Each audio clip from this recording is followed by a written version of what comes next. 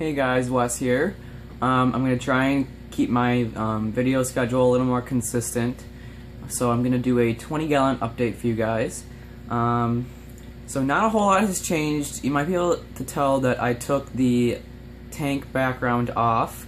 Um, I just um, always was surprised at how dirty my filter was when I would do water changes. So I took it off so I can actually see inside the filter like I was able to in the goldfish tank.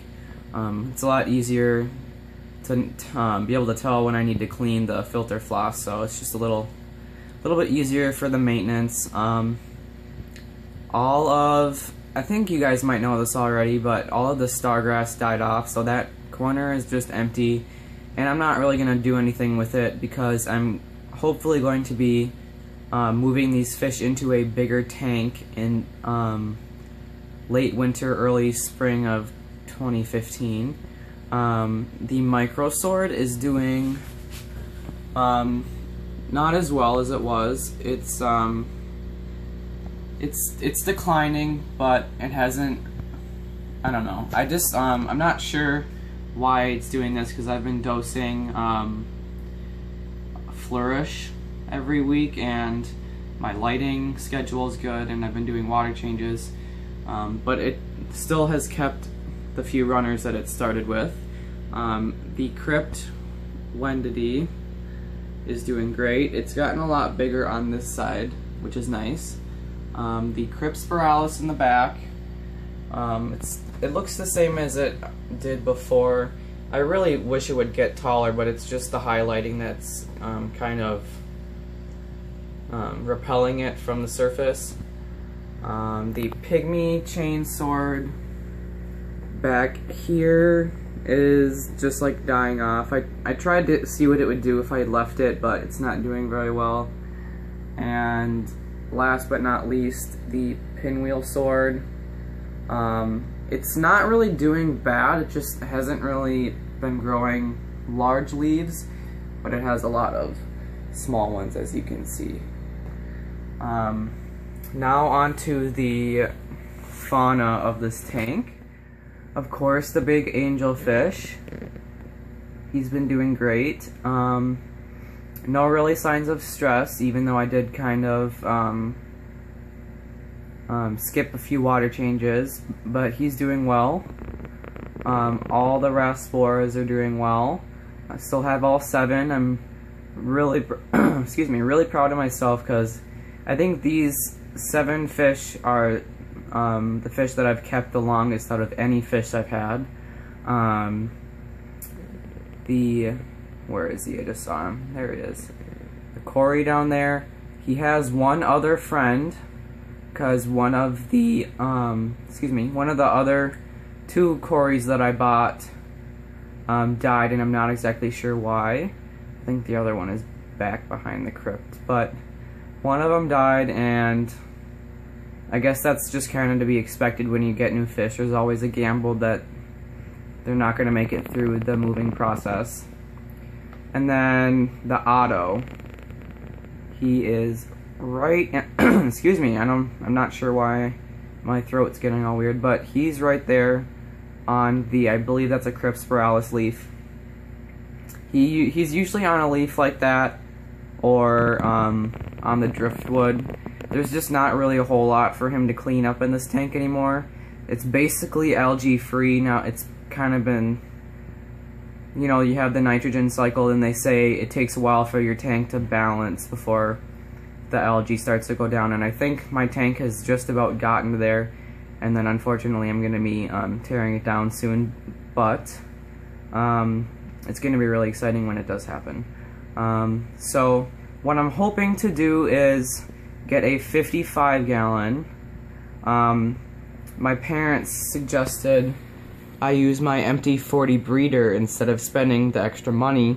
Um, but the only reason I'm not considering using this is because, um, one, the angelfish like height, and moving him into a tank that is the same height as this um, sort of defeats the purpose. I know the water volume would really um, help because it is 25 gallons larger than this tank, but I really want room for him to grow because he's really going to be my centerpiece fish, and I hope I have him for a long time. Um, so with the 55 gallon, I'm going to use this existing filter, so I won't really even have to cycle it. Um, I'm going to use the other two aqua clears from the goldfish tank instead of um, an Eheim 2215 canister. I'm just going to use these um, aqua clear 50s since I already have them. I'm going to get some Eheim Jaeger 150 watt heaters. I'm going to get two of those. Um, and I'm going to get the, well hopefully I say I'm going to get, but this is all still kind of up in the air. I'm hopefully going to get the Finnex Fuge Planted Plus LED strip light, 48 inch. And I'm going to start with one, and if it's not enough, I'll go two. Um, but I'm really excited about this um, new 55 because I'm going to dirt this tank, and, that, and it's going to be my first real experience with that. And hopefully I'll have a lot more success with plants besides crypts. Um, so I'm going to order some a little more rigorous plants. There's going to be a red plant that I'm going to hope to get and some swords because they're uh, nice um, root feeders and the dirt's going to be really nice.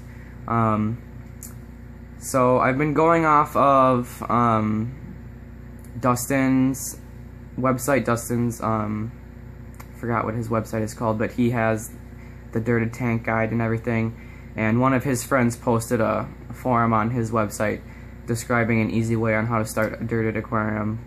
So I'm going to follow that, and of course it's going to be the Miracle-Gro organic potting soil. And I'm going to try and get some red clay, but all the red clay I've been looking at on Amazon has been selling out, and I'm not exactly sure why. But um, I'm going to try and get some red clay in there to put underneath um, with the dirt, and then it's going to be capped with Eco-Complete. And hopefully the plants will grow really nicely in that dirt. And then I'll, i already have a stand for it. My dad has his old 55 gallon stand. And then I might possibly build a canopy just to make it look really nice because it will be my my only tank besides my betta tank. So I'm not going to have three tanks anymore. I'll just have the two. So that's really exciting and I'm hoping I'll be able to go through with that um, plan. And my stock for that tank will hopefully be the angelfish in here, of course. Um, these seven Harlequin Rasboras. Um, I'm thinking three more, um, possibly like six more, so it'll be like a school of 10 or 13. And then I'm thinking about like eight large-bodied tetras, possibly um, black skirts, um, or maybe even diamond tetras because I know Dustin has those and actually really like the look of those. And then these cories, these two cories will go in there with um, four other friends. Um, this Otto, I will probably stick in the betta tank for a while until some algae starts to grow, but hopefully he'll make it until then. And then the main new fish I'm, I'm hoping to get is a pair of um, either cockatoo apistos or the um, agassiz, because those are the two um, species that my LFS gets in the most often. Um, possibly Borelli. I know my LFS has those sometimes, but I think I'm going to try a pair of those. Um, not really for breeding purposes. I will like give them a cave um, to kind of guard and things, you know, because Apisto, apistos are cichlids, and all cichlids are territorial. Um, but just so the male doesn't pick on the other fish, I want to give him a female.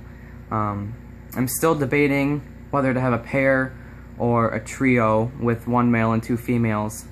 Um, but i am going to continue doing research on that, and I will hopefully keep you guys posted. I know I've been kind of falling behind on my um, posting schedule. So that is that is it with this tank. Oh, one more thing. There is actually some moss on this driftwood, and that was from a while back when I got the Taiwan moss when it was like on sale on Planted Aquarium Central, and that is kind of starting to grow. Um, I don't think it's gonna do as much as I thought it was gonna, and I'm not sure what I'm gonna do with this driftwood when I um, switch tanks. So I'm not sure what, what I'm gonna do with that, but that was just the one little thing I almost forgot. Um, so yeah, I'm gonna thank you. I'm gonna thank you guys for watching. As always, go ahead and leave leave a comment if you have any feedback or if you have any advice on pistos um, or dirted tanks. Uh, give this video a thumbs up as well. It's always appreciated. And go ahead and click that subscribe button. I love to see that number go up. And hopefully at 100 or a little past 100, I'm go going to be doing a um, surprise for all of you. So stay tuned for that. I will see you next time.